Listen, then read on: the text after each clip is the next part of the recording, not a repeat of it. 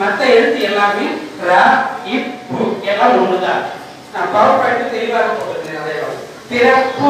அப்ப எல்லா எழுத்தும் ஒன்னாதான் இருக்கு. பிறப்பு இறப்பு எழுத்து மட்டும் வேறுபடுகிறது. எப்பொழுது தெரியுங்களா? அந்த உயிர் மீன் ஏன் பேர் வச்சாங்கன்னு சொல்றேன் அந்த பிறப்பு எப்பொழுது தெரியுங்களா நடக்கிறது? உயிரும் மெய்யும் சேர்ந்து இருக்கிற பொழுது. உயிரும் மெய்யும் எங்கே சேர்ந்து இருக்கிறது அந்த சேர்ந்திருக்கிறது. அந்த பகர ஈ என்கிற இடத்தில் எழுத்தில் உயிரும் மெய்யும் சேர்ந்திருக்கிறது பிறப்பு.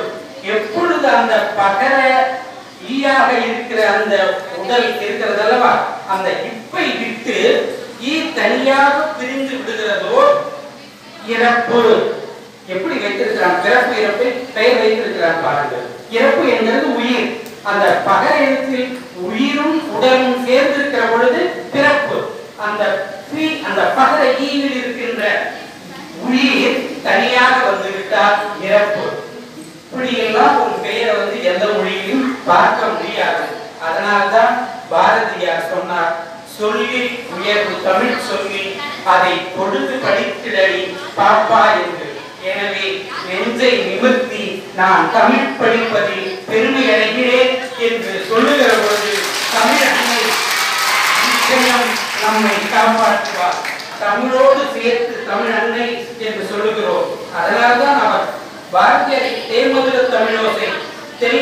தெல்லமுதின் சுவை இங்கு அவர் சிறப்பு கண்டார் என்று பல்வேறு விதமாக கொண்டாடுகிறார்கள். அடுத்து மாணவர்களுக்காக கற்பித்தல் இந்த மாணவர் என்கிற சொல்லையும் கொஞ்சம் சிந்தித்து பாருங்கள் நண்பர்களே. தமிழ் ஆங்கில வடமொழியில் பார்த்தால் அதற்கு நீங்கள் பல வித்யாலயா என்று வைத்திருப்பார்கள். வித்யா ஆசிரமம் என்று வைத்திருப்பார்கள்.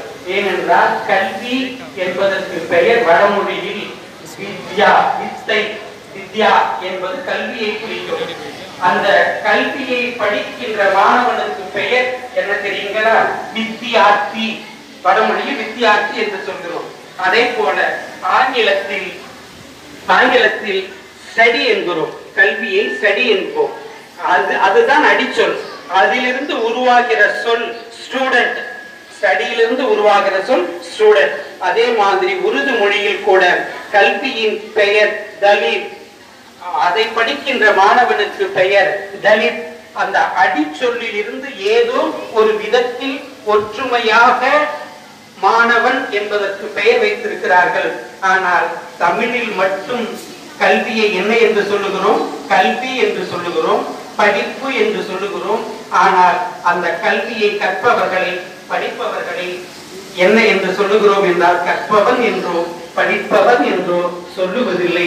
மாறாக எப்படி சொல்லுகிறோம் என்றால் மாணவர்கள் மாணவியர்கள் என்று சொல்லுகிறோம். இந்த சொல் இன்று உருவானதல்ல. நீங்கள் இளங்கலை தமிழ் படிக்கின்ற மாணவர்களுக்கு தெரியும்.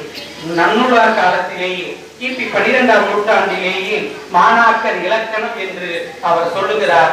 மாணவர் என்கிற சொல்லை நன்னுலார் காலத்திலேயே உருவாகிவிட்டது. தமிழ் படிக்கிற இந்த தமிழ் சமூகம் எதிர்பார்க்கிறது. நீங்கள் கல்வி கற்றால் மட்டும் போதாது படித்தால் மட்டும் போதாது.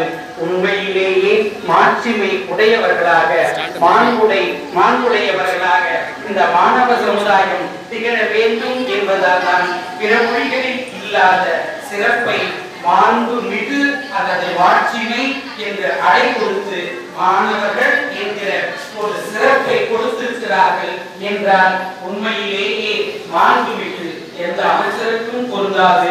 மாணவர்களாகிய உங்களுக்கு தான் உண்மையிலேயே மாணவர்கள் என்பதை நீங்கள் தான் மாண்பு என்கிற அடைமொழிக்கு குறித்தார்கள் என்கிற சொல்லுகிறோடு அடுத்து நான் கற்பித்தலுக்கு வந்துவிடுகிறேன்.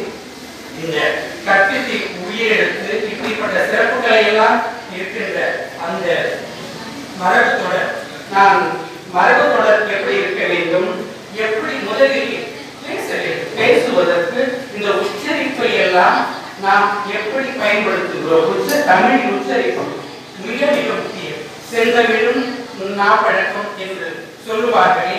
ஆக இந்த ஒரு மாணவரையோ ஒரு ஆய்வாளரையோ நான் பல்கலைக்கழகத்தில் பார்த்திருக்கிறேன். ஒரு ஆய்வாளர் செமினார் கிளாஸ்ல எடுப்பார் அப்படின்னு சொன்னா டாபிக் கொடுத்து